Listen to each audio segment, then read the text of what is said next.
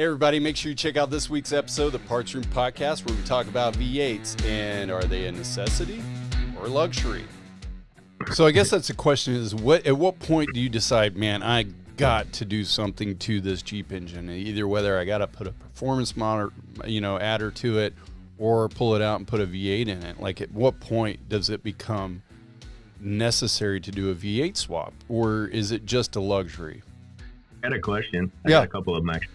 My the Hemi swap that I have was American Smith wanted it was 505 horsepower. I know they have a 707 and an 808. Mhm. So I'd like your opinion on those three. Which one are your favorites? But Oh, yeah. The other question I think people probably wonder is LS versus Hemi. What kind of horsepower versus torque can you expect um, between the two of them? If you're staying with the 505 package on the Hemi. Yeah, and that's what that's what most people listening want to know, right? I mean, good question. Um, and by the way, we didn't rehearse this, so No, we're just winging good it. job, good job, Tony. I think people need to be really honest with themselves when they're talking about doing a V8 conversion, and it it, it comes down to how much time are you actually going to spend off roading the Jeep?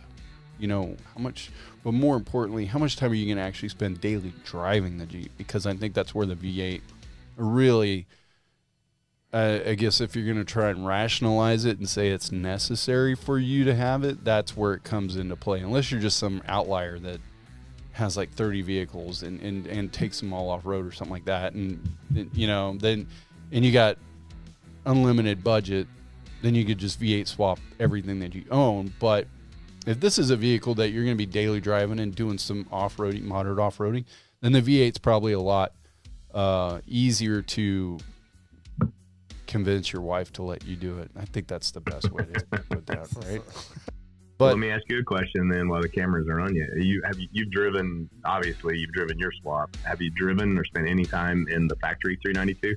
And what are your thoughts on it? The, the Hemi swap you did in mine, the AMW one, is just it's just raunchy and rowdy Oh, I and love it. It's nasty. it's just nasty. Oh man, that thing hit. Yeah. And this thing was maybe more domesticated. It might be something that somebody would appreciate more if they were just going to daily drive this thing Yeah. every day. But to me, I love that. We've had guys from uh, send from all over the country here to get uh, to get swapped, and it is the best.